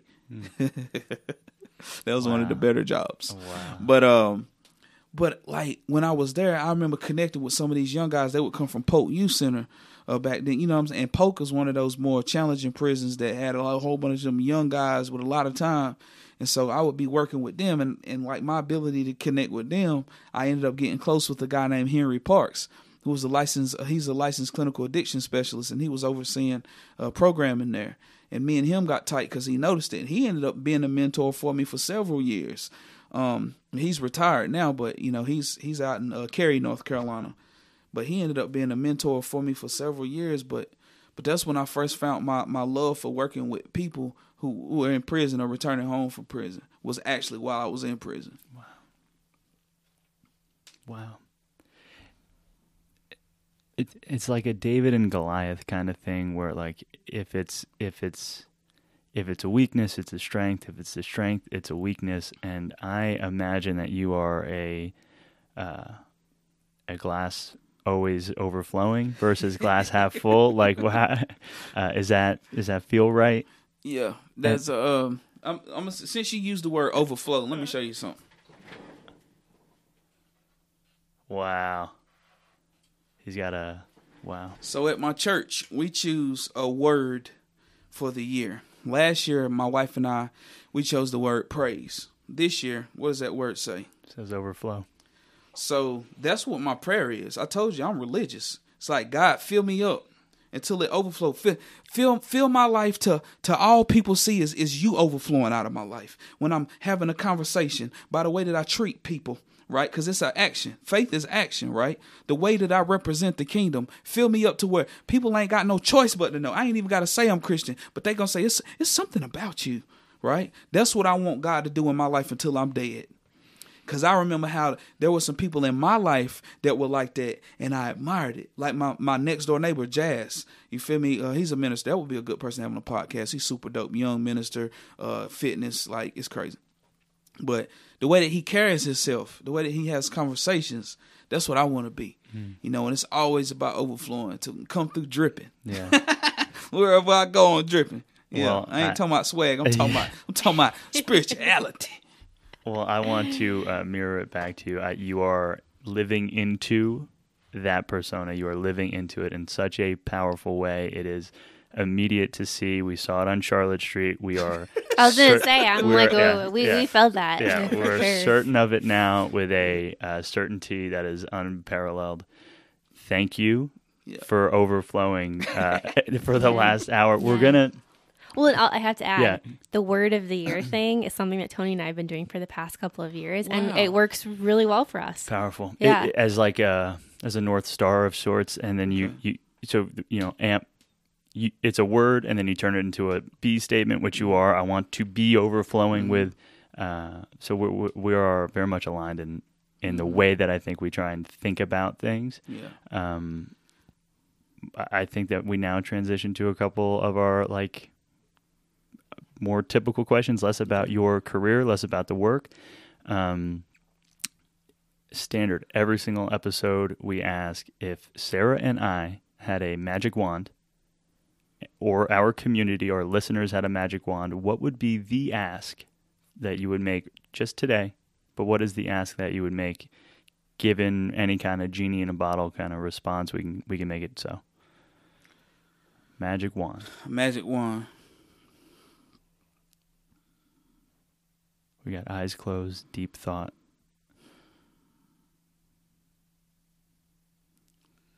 I want to say it will have to do with healthcare, maybe free healthcare, and it's it's really because of I've lost some friends in recovery since I've been because I'm active in the recovery community. Mm-hmm. I'm not I don't just talk like I go to meetings. I sponsor people, and I've several people have died, and I, and I also know some people that just couldn't afford treatment you know, because I, I do groups and stuff like that at some places that, you know, they take insurance and they have amazing, it's amazing treatment. But like there's a lot of people that don't have insurance. And even if they do have insurance, it doesn't cover that type of treatment. Mm-hmm. So if there was some type of way to have an impact on healthcare to be free for everyone, and then people would be able to get the needed treatment that they that they need. And I'm just speaking from a substance use disorder mm-hmm. standpoint. Now, for the people that don't take the treatment and don't choose to, they don't make the decision to go to treatment then may the prison save their life the way it did mine. You know what I'm saying? Because I want everybody to live and I want everybody to change and, and get close to God and be disciples and overflow with me. And we just make a whole flood. you know what I'm saying? But like, in order for people that have substance use disorder to change, they need some type of treatment, effective long term treatment with licensed professionals. You know, and what you see that at is places that take take insurance for the most part. So if the wine was waved to get that health, that's that's what I'm looking at right now. Dang sure. That uh that hits close to home and we we love that as a wish. Yeah.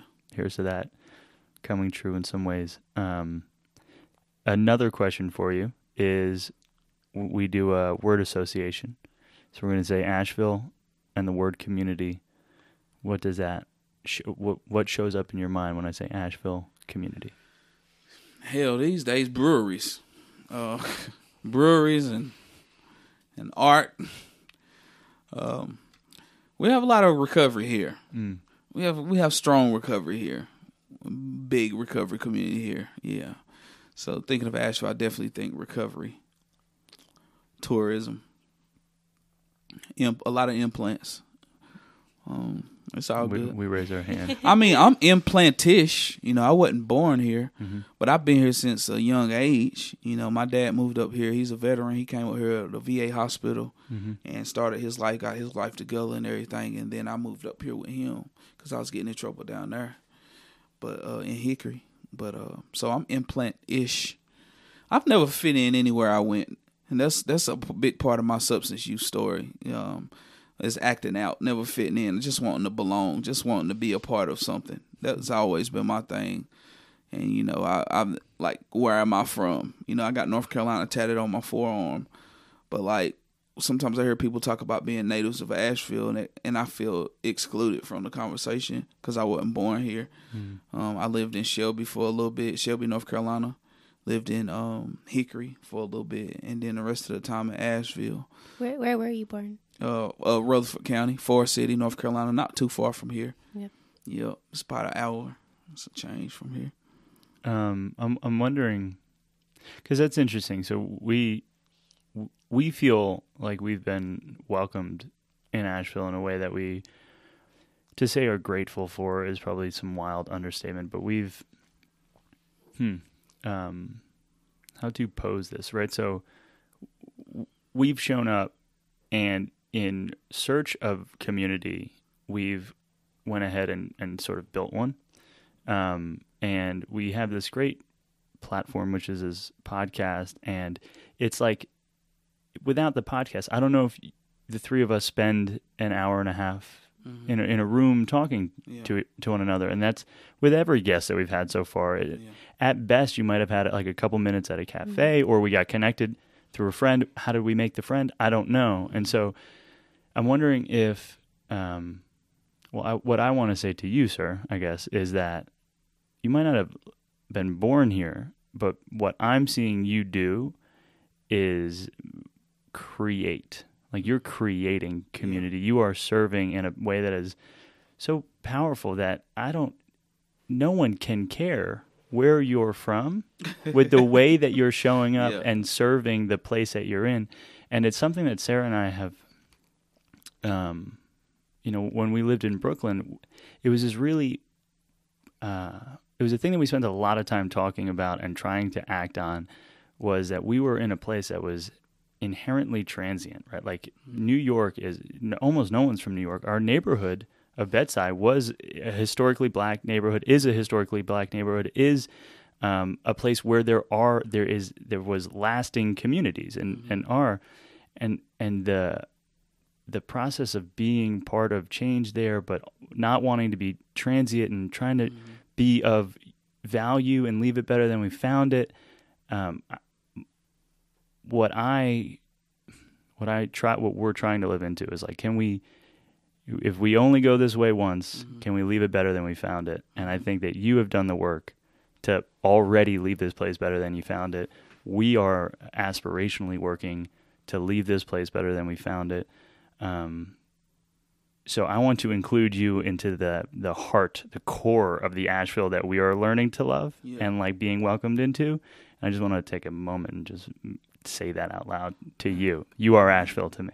I know that's, dope. I love that. I mean, as far as connecting with people, man, um, a lot of my friends are are in recovery or church. Like I go to Elevation Church, and so it's a it's different. It's it's different, man. The culture is different. It's a lot of young folks on fire for the Lord. You know, no dress code really. You know, holy jeans, holy Bible. You know what I'm saying? Uh, and it's also good. It's easy to understand sermons, and you have opportunities to serve. Like a lot of people make friends from volunteering. A lot of people make friends from uh, volunteering and stuff like that. So that's been a way for me to make new friends was at church because I had a different. I mean, before I went to prison, I had it was a different group of friends. Yeah. Like I don't, I don't, I really don't hang with. I not really. I don't hang with none of the people I used to hang with. Yeah. You know, now I have a couple of people that have changed their life around, and they're now doing work like me, like serving the the returning citizens or the people with substance use. You know, shout out to my boy uh uh Gritty Ryan, and shout out to a guy that works with me now, Adrian. You know, we was we grew up together. You know what I'm saying? And he he works with me now doing this work. But like, um, but as far as like you know, the old friends I used to hang out with, it, it if unless there's a behavioral change, I got to be careful because mm-hmm. if you're so proud in your destructive patterns, then you will tempt me to go back to the destructive patterns before I'll be able to convince you to change. And I've learned that because since I've been out, I was still trying to kind of ride the fence and hang around certain people and then they might be blowing a fat blunt, you know what I'm saying? And I'm in there in recovery, Mister Mister Recovery here, and it's smelling so good, you know. So I had to be careful with hanging with people that weren't into those old like in that old lifestyle, and I had to distance myself, and it hurt.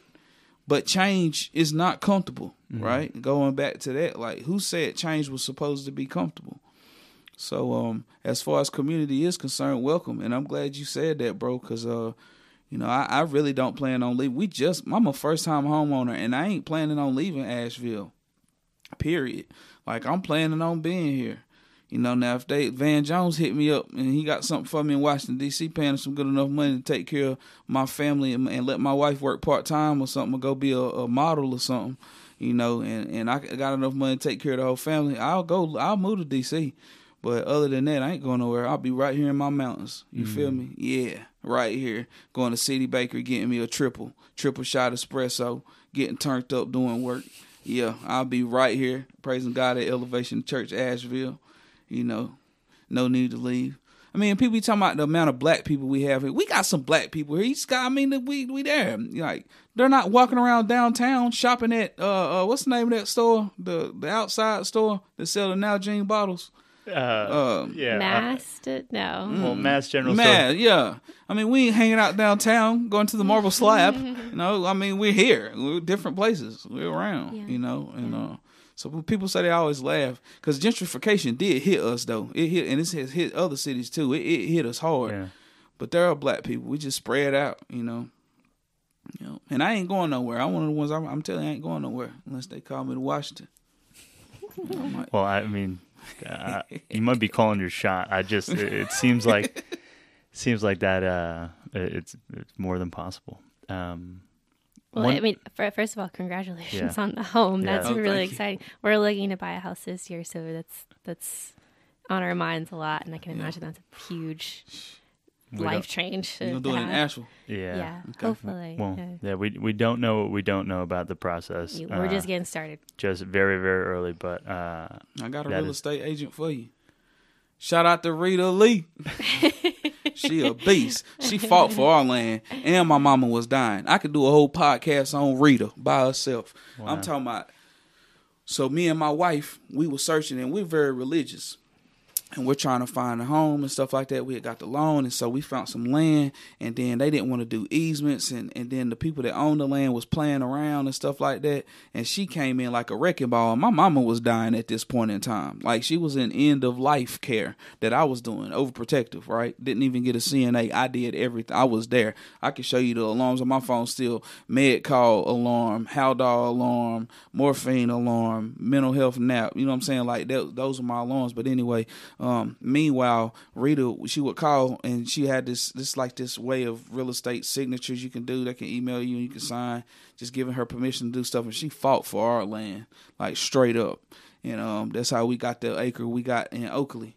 for a decent price, you know. But um, Rita Lee with Exit Realty or something like that. Wow. Dang. Thank you, Rita. Um, So you you've been here how many years in Asheville? Have you lived in Asheville? Since eighth grade, Okay. yeah, I came Yeah. here start going to uh, Reynolds Middle School, and uh, and then I stayed with my dad. Now I did leave briefly and go to Hickory in two Mm-hmm. in my senior year because I was getting out of hand, and my daddy sent me back to stay with my mama. He's like, you ain't gonna bring that hoodlum stuff up here, and so then I went back to uh, Hickory. And got immediately got in trouble. But I, I did. I dropped out of high school, came, but my mama made me go back. She was like, "You ain't gonna be staying in my house selling that mess. You either gonna work or go to school." So I went back and I, I finished my uh, high school, and uh, then I caught some charges. And so when I went did my time, when I got out, I moved back with my daddy in 2003. It was the end of 2003. So um, so I was gone probably like so from the eighth grade into the 12th grade, and then minus two years, and then I came back and been here ever since. Okay. Minus the you know the state funded vacation. I feel like that, that was a little math equation right there. We're here to draw that in the in the video version of this soundbite, Yeah. there was a math Yeah. happening. Cool. So hold on. So 99, 98. So 98 middle school, 98 to 2002 is four. Hold on. Two, yeah, four. four, four years. And then uh left for two, came back in 03. Been here ever since 03 is 2020. So 17 plus four, that's 21. 21 minus, th- 21 minus three, just call it three, is uh, 18. About 18 years. Dang. Okay. So Yeah. you you know um, what I was trying to get was you know Asheville Yeah. Oh, yeah. pretty well. I, I'm wondering what kind of things do you like to do in Asheville when you're not working? If there is that time. I, like, I mean, I like church. I like to work out. I like to eat ice cream. I love ice cream, especially because I'm pregnant. My wife pregnant and I'm pregnant. You know, we both pregnant. That's what they always say. Like I Yeah. eat ice cream. I'll eat ice cream before dinner. Hell, What kind I don't ice give a cream? damn. Like I've been, I learned my white rights. I Mm-hmm. earned my rights to eat. I like ice cream from. Uh, I like Ultimate ice cream, Mm-hmm. and they get uh some of their dairy from my man Nathan Ramsey. Got a dairy farm, and so shout out to Nathan Ramsey. Uh, he's the chair of the Workforce Development Board. Solid guy, but uh, but I like going there. But as far as flavors, they got a birthday cake remix at um Cold Stone Creamery. Mm-hmm. Good gracious. And they got that brownie in there with them birthday sprinkles. Hallelujah. And I don't kill Hey, I'm telling you, because I'm pregnant now with my wife. I'm eating every matter of fact, I don't know what I'm gonna eat for lunch. I'm uh, what y'all eat- what y'all got for lunch going on? With no plans. Leftovers. Yeah. Nothing exciting. Yeah. Probably gonna get something drive through. Okay.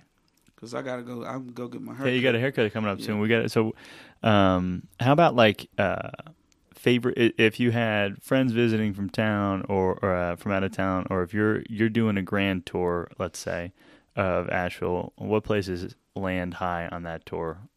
Any type. Well, I mean, get them on a trolley ride. That could be like somebody that's like a history buff. It would be interesting. I know one thing I learned about it was some stuff they did on Montford with some type of sickness and people would sleep on the porches and stuff like that. Something. Tuberculosis, maybe. Yeah, it was pretty interesting. Uh, but like uh, I did that when I was in leadership Asheville. They put us on a trolley ride. But um, I say get on a trolley. Biltmore, House, but of course Biltmore House. You know, of course Biltmore House. Um, take go get some wings from the social on a Tuesday night. The social, their wings are lit. Um, The social. Um, social, it's in East Asheville Okay. really good wing. They have a wing night, and they, but you got to get them in increments of four, and you can't take none out. So you know, and they're like fifty nine cent. Um, I'm trying to think of what else. What else I would want them to do? Come to Elevation Church Asheville, Amen.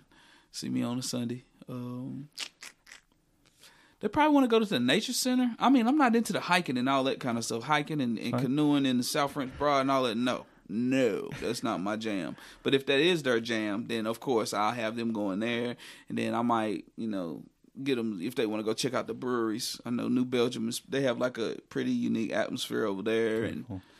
yeah, so tell them go get drunk call the Uber. Don't drink and drive. You end up locked up in Asheville and on my caseload. you end up hitting me up for services. Oh man, that's fantastic. Um, what, what else was it? What else is on our list of? We always ask questions. Hmm. I mean, it's just, it's a magic wand. It's community. It's um, the the the absolute last question is where do we find you on the internet? Is there anything we want to throw in before that Is there anything that we've missed that you hope to, that you to wanted talk to about? cover? Yeah. Uh, nah, I I mean, a lot of topics that I had, because I can get long winded, because I'm a motivational speaker anyway, and a storyteller. So, like, I get long winded. I mean, I got a pretty interesting love story, like how me and my wife ended up uh, together. It's pretty interesting. Shout out to my Barbie. Um, Which one in in the photos? Which yeah, one is your That's wife? her right there. Hmm And then right behind you is me and her action figures. We got some action figures made. Come on, Mr. Incredible. I love it. Yeah, yeah, she smooths me right on out because I I know I, I understand that I'm wired in some type of way. It it is it is what it is. Like especially being excited about like right now I'm so excited just talking about the work and some of the questions you asked me like me verbalizing it reminded me about the perseverance and the faith in the process. So how can I not get excited about that on a Friday? You know, before I go to the MLK breakfast tomorrow morning, right? How can I not be excited? So some of the stuff that we talked about was like reminders for myself, like, bruh, it's really good right now, and it's watch out for burnout, but but you know it's really good right now, and so like I'm lit, love that. yeah, I'm lit. Perfect. All right. So then, how uh, to our audience that that listened wants to support? How do they find you on the internet? Hit me on LinkedIn right now, Philip Cooper one L. I'm on LinkedIn. Uh, I'm fasting from Facebook. My pastor, shout out to Pastor Brennan. She took like a, a, a fast from social media, so I followed her lead, and so I'm not on Facebook, but I'm usually super active on Facebook, LinkedIn, Snapchat. Uh, Philip Cooper, Change Agent Cooper. Um, on uh, on Instagram and Facebook, I have a Change Agent Cooper page, and I'm usually on there. I'll be back mid February.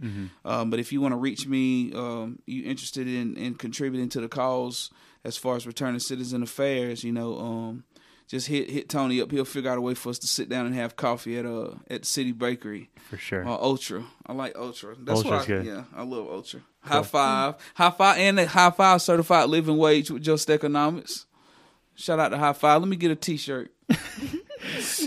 So, uh, listening audience, if if making it in Asheville has T-shirts, uh, when you listen to this episode some point in the future, it's because we were told that we need to get some T-shirts that we can get, uh, so Philip can rock it in town. And um, I was one of the man. I, it, you're absolutely right. Like you're wearing a No Evil Food shirt, right? You had a, a East Fork shirt, and it is. It's a conversation starter. It's an opportunity for you to tell Yeah. some of the stories that you tell, which are so powerful and meaningful, and and are a part of the light that you're shining. And so, we're gonna get you a shirt, sir. Yeah, we're gonna figure that out. because it's real, and I know a lot of people that would probably buy it because it's making a statement. Like even for me, like to to wear that shirt, I would be making a statement. Like, okay, you gentrifying, but I ain't going nowhere. I'm gonna get this bread, and I'm gonna survive in my town. You feel me? So making it in Asheville, yeah, yeah. It's a, st- ha- I hashtag it. Well, if you ain't cool, we start hashtagging this on some of them uh, uh inspirational posts. Let's making it, it. in Please. Asheville. You know, the Black Godfather, amen. I seen that movie. It did something for me though. When I seen it, because it was about him. He was just a connector. You know what I'm saying? And he's just connected his way all the way to the presidential office. You know, I'm in there with the president. All from connecting and authentic relationships. Because I don't know how to be fake. Like I don't. I don't know how to be anything else. Like that for a long time in my life. I tried to wear a mask and it was so uncomfortable and it was so tired. It was draining to have to wear a mask. So when I started using drugs, that's that was the answer. Because when I started using drugs, I ain't care what nobody think. So that was like the answer to all my uncomfortable emotions, right? Mm. So whenever whenever I, I got my life right and got clean and sober, gave my life to Christ, and I started living my life, I started noticing like, like, bro, you solid. Just be you. Be authentic. Be be the same person all the time. Integrity. Mm. And it started working. You know what I'm saying? So hey, this me. You know, and people that want to connect with me, they connect with me because uh, because of who I am. And what better way to connect with people than being the authentic self? And the next thing you know, you start having all these people you cool with that want to commit to the cause, and that's how skill blew up. Not trying to be cocky, because somebody said I was arrogant. somebody, like, Yeah, I'm sorry. yeah, no, I'm sorry. Not No. sorry. I ain't sorry. Yeah, I ain't I- sorry. I hope you hear the podcast. I ain't sorry. If I if I'm arrogant, I'm, co- I'm I'm cocky because there was there was programs in place that could have been doing what I was doing, and they ain't want to listen to my ideas. And when I started doing them, it started getting some momentum and and and recognized outside the the city, and started getting funding from outside the area. So I'm sorry. No, I'm sorry, not sorry. Yeah, I got cocky because I ended up being the gap filler in the bridge when I had these ideas and had to sit in meetings and look crazy with my ideas and nobody wanted to listen. No, wait, no, sorry, no, Philip, I don't know about that. Okay, I'll do it myself. I'll do it myself. Heard. So yeah, it made me a little cocky, a little cocky. Lord, forgive me for my cockiness. But whoever the person is is saying I'm arrogant, I'm not asking for your forgiveness. and and that is that is one person, and that's almost always a them thing. That's that's the thing that we're, what we're realizing is that that's a them thing, Yeah. right? Like we know the intention that we're bringing to our work. Yeah. I know, I know the intention that you're bringing to Yeah. your work. Someone's got something to say. Like if if it's constructive, if it adds value, if Mm-hmm. it helps you, in like like your mentors are saying, not this meeting, Yeah, right? Like that's helpful. yeah, hmm That's a helpful way to give feedback or or advice. If it's not helpful, that's a them thing. yeah. That's a damn thing. That's a them thing. And so uh, allow us to say keep keep being cocky, keep being whatever whatever is you. Yo, and if whatever- someone defines Yeah. that as cocky, that's a that's a them thing. Keep being whatever is you. Yeah. Thank you so much for having us today. Yeah, thank you for coming through, man, and allowing me to, to share my, my story.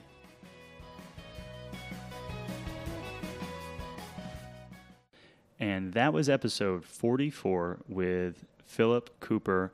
And I, I mean, I am like, a- I'm on an 11. I can't hear Philip. I can't uh, be around him. I can't watch his Instagram uh, stories and, and, and posts and not be at an 11. I am so glad that we met on Charlotte Street by chance and happened to have this uh, conversation and create the possibility for all of the good that we might do together. Yeah, absolutely. Um, there were a lot of things we mentioned in this episode. Um, shout outs. There were a lot of shout outs. We tried to ca- we yeah. tried to catch all of the shout outs uh, and and it was a lot. And so we might have missed some, but we tried to catch all of them and they would be in the show notes page. Yeah, exactly. So if you want to learn more about how you can connect with Philip himself, you want to learn more about the organizations that he mentions in the episode, um, all of that is listed on the show notes page. Just go to makingitinasheville.com forward slash 044. Um, you'll find all sorts of interesting tidbits there.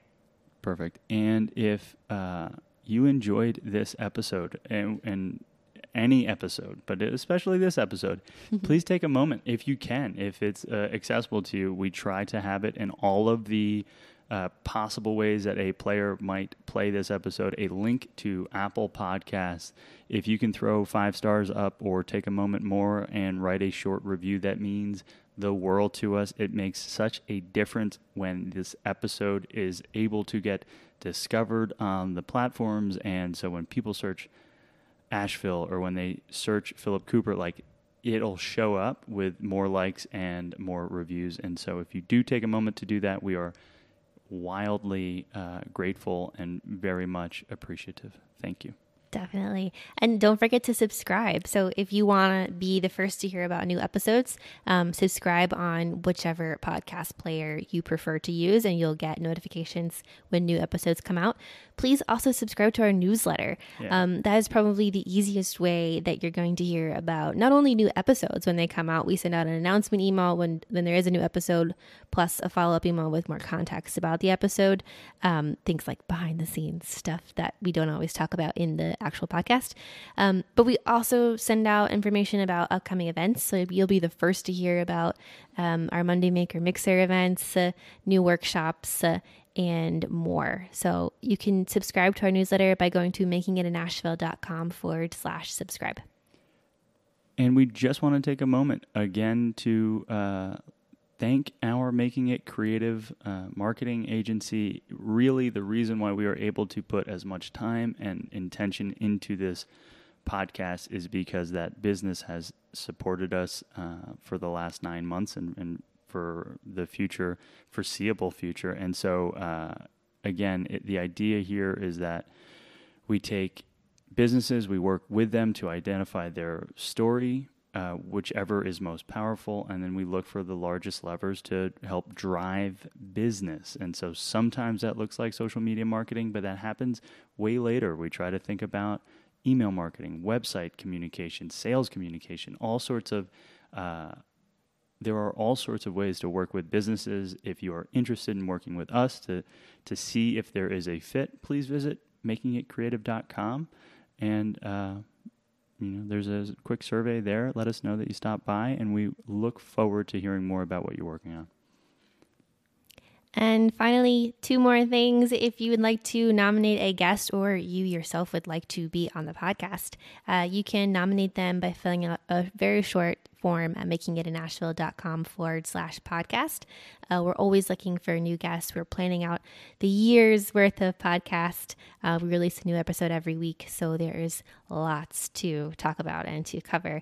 And one last thing, little ad, and we've never talked about this before, but we are looking for sponsorships of mm. the podcast. So if you are a business and you think that um, our audience could be a good fit uh, for you to to reach, please reach out. We are starting to think about ads, think about sponsorships, and ways to partner with local businesses um, to to reach a very interesting audience. Yeah, and just to kind of double underline that uh, for someone who is listening, who's maybe not a sponsor um, the idea is that anything that we'd support or put into an episode is something that we really believe in, is something that we use, and something that we can stand by. Um, and if and when we start doing ads that aren't about making it creative, we, our intention is that they will be very fun and interesting and exciting and worth listening to, um, and not something that you would necessarily want to skip. So just because we're saying, hey, uh, we're thinking about sponsorships. Don't say we're selling out. We're trying to add value to you, dear listener and friend, um, and and make this thing even more sustainable. So uh, yes, 2020 has a lot of good in store. Part of it, uh, we're open to allowing that good to be sponsorships to this podcast. So 44 episodes in. Uh, so, so, so much more exciting content coming down the pike. Uh, if you haven't already listened to the entire archive, uh, please start at episode one, which and you'll hear the difference in audio quality from one to forty-four. But um, just thank you, thank you, listener, for for making it this far in this episode.